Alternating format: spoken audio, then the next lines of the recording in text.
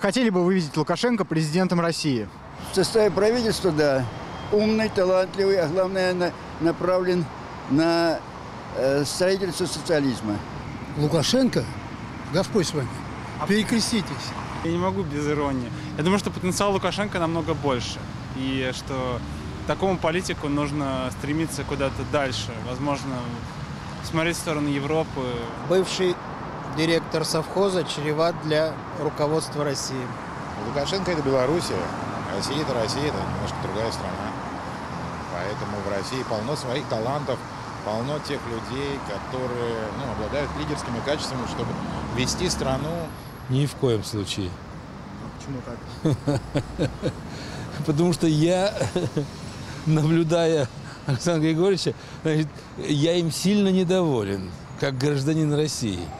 Ну, вообще хозяйственный мужчина. Ну, меня и Путин устраивает, честно говоря. Так точно не могу сказать. Он э, достаточно много порядка навел в Беларуси, я это знаю, слышал.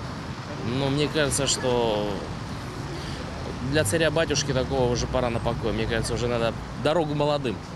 Нет, он диктатор. Судя по телевизорам и новостям, ну совсем хитрый.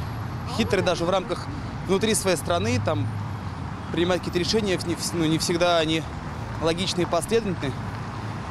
Меркантильные интересы преследуют, собственно.